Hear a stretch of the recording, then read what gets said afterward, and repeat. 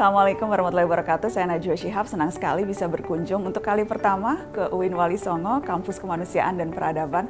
Pertama kali datang, kesan pertama adalah kampusnya yang sedemikian megah dan insya Allah ini juga mencerminkan mahasiswanya yang modern, pemikirannya yang progresif, yang selalu terbuka pada ide-ide baru. Karena itu kuncinya, uh, kita hidup di dunia yang begitu cepat berubah. Bukan hanya karena pandemi yang kita alami dua tahun lalu yang mengubah begitu banyak hal, tapi karena teknologi, keadaan demografi, situasi dunia, global politik, itu semua membutuhkan manusia-manusia yang selalu mau beradaptasi dengan perubahan, selalu mau uh, belajar uh, untuk uh, terbuka dengan berbagai ide. Dan rasanya Win Wali Songo adalah institusi yang paling tepat yang bisa menyiapkan uh, mahasiswa-mahasiswa untuk menjadi lifelong learner, pembelajar seumur hidup. Terima kasih, selamat dan sukses untuk Win Wali Songo. Assalamualaikum.